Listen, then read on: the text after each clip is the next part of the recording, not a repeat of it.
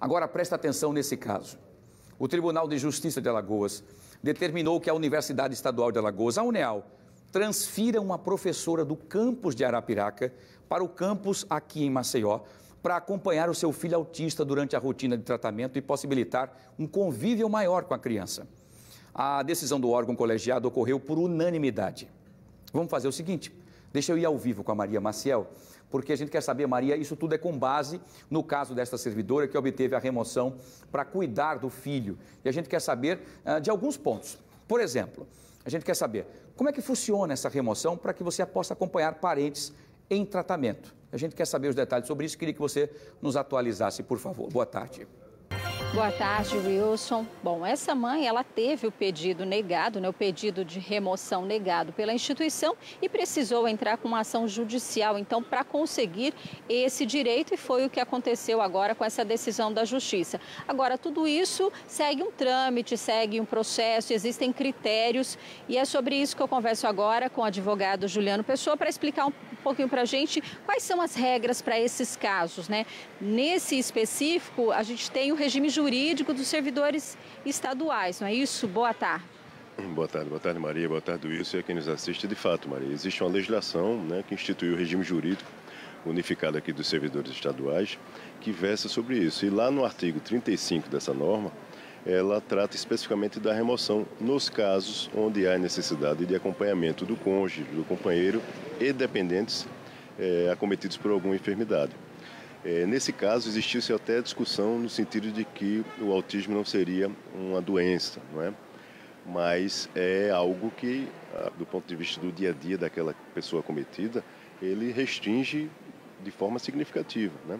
Nesse caso concreto, além disso, a gente está tratando de uma criança de 3 anos, que tem uma rotina de 14 horas semanais de terapias, por parte de prescrição médica. Então veja, a mãe estava em Arapiraca e ele se tratando aqui em Maceió. Então você retirar essa criança do convívio familiar, que é garantido pela Constituição, pelo Estatuto da Criança e do Adolescente, pela lei que protege as pessoas acometidas pelo autismo desde 2012, uma lei federal.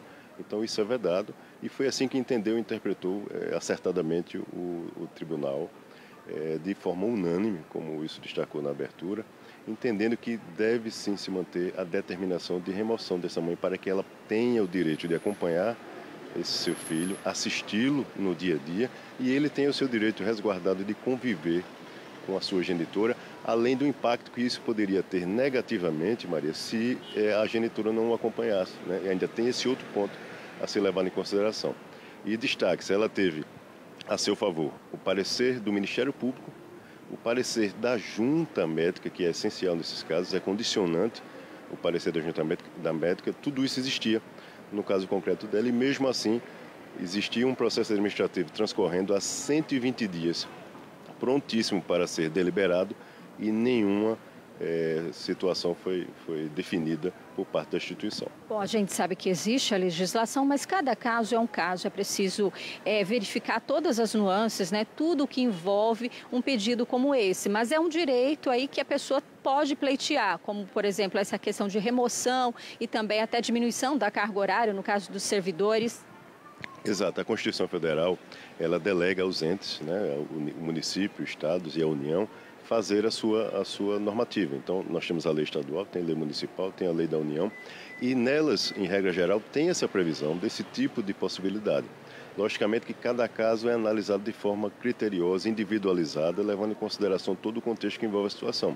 Mas é importante que as pessoas que nos assistem saibam que existe sim a possibilidade desse tipo de situação, no caso concreto, ser deferido de acordo com a necessidade ali verificada.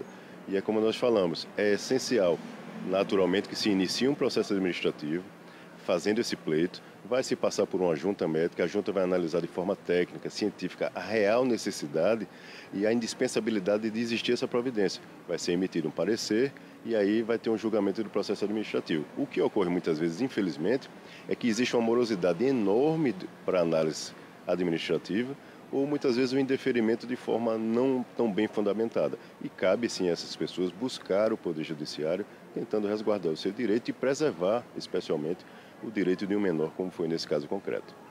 Obrigada pelas informações. O que a gente viu é um olhar também diferenciado aí do judiciário, um novo olhar também que a gente precisa né, nos tempos atuais em relação a essa criança que prevaleceu o direito dela, né? O direito à convivência, o direito a poder conviver com a mãe em outras situações aí não só poucas horas, como impossibilitava o fato dela estar em outra cidade. É com você, Wilson. Muito bem, muito obrigado, Maria. Agradeço, doutor Juliano, pelas belíssimas explicações, como sempre, aqui é muito importante. E como você bem disse, Maria, o Judiciário uh, teve a sensibilidade de entender a importância, inclusive, dessa, dessa mudança para que a mãe viesse de Arapiraca para Maceió para acompanhar o seu filho, três anos, que é autista e precisa de todo, todo tipo de atenção, principalmente da coisa mais importante para a vida de qualquer ser humano, que é a mãe próxima, não é? Então, é importante que outros casos sejam analisados também com essa mesma sensibilidade, é o que a gente espera. Tá bom.